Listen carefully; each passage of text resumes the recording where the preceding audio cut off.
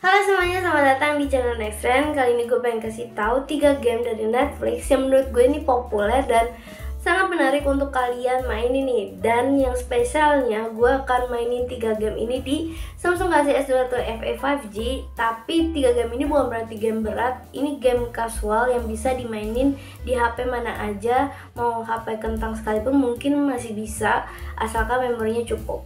Nah, untuk mengetahui lebih lanjut 3 game ini, kalian bisa tonton video ini sampai habis.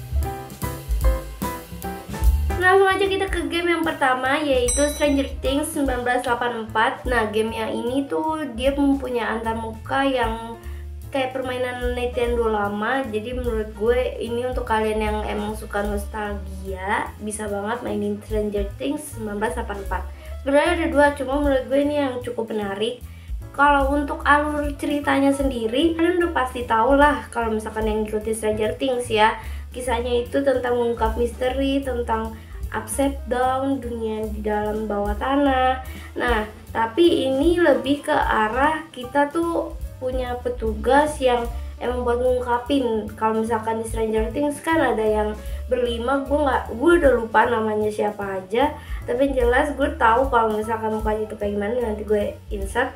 Nah jadi tuh di sini tuh di kota yang di mana emang kejadian aneh suka ini kita tuh mengungkap misteri kayak pokoknya intinya ini lumayan seru dan kita bisa lihat peta juga. Terus ada pilihan hero gitu. Kalau misalkan kalian mati bisa diulang. Nah di sini juga ada nyawa. Pokoknya uh, kalian harus coba game ini. Kita lanjut ke game yang kedua yaitu Wonder Part Forever. Nah ini tuh kalau misalkan kalian lihat di sini ada the keep. The keep itu artinya kalian mau memulai permainan. Terus sini ada par mode terus kalian tuh bisa lihat grafik gimana gamenya kalian nyelesain masalahnya secara cepat.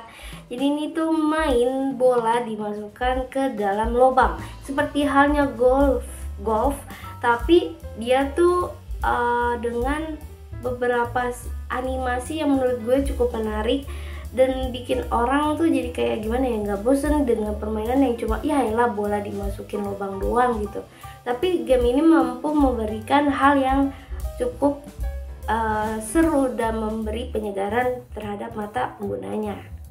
Kita lanjut ke game yang ketiga yaitu Bowling Ballers. Nah sebenarnya Bowling Ballers ini game yang casual yang mungkin nggak cuma di Netflix kalian temuin. Jadi ada beberapa juga game bowling dan game semacamnya yang berjalan seperti itu. Sebenarnya ini game yang cukup simple dan uh, karena desain dari si gamenya sendiri yang menarik jadinya agak sedikit berbeda. Dan sebenarnya ya kalian sering banget sih ngelihat game semacam ini. Tuh jadi tugasnya karena dia bowling ballers jadi bolanya menabrak pin pin bowling terus ngambilin koin ngumpulin huruf kayak Subway Surfer tapi modelannya dia itu tuh uh, bukan orang yang dikejar-kejar polisi melainkan bola yang menabrak pinnya dan di game bowling ballers ini tuh kalian juga bisa ngumpulin beberapa bonus koin. Nah ini koinnya sendiri gue belum tahu bisa digunakan untuk apa tapi sih gue berpikiran mungkin ke depannya ada update yang akan bisa kayak kita ganti warna bolanya atau kita ganti pin bowlingnya kayak gimana.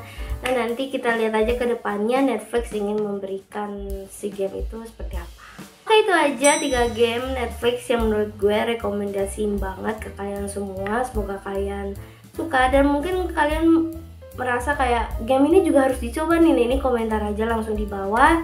Jangan lupa untuk baca informasi teknologi lainnya di nexttrend.com follow sosial media nexttrend dan subscribe channel nexttrend nyalain notifikasi supaya kalian gak ketinggalan video selanjutnya. Gue Zia Fajri bye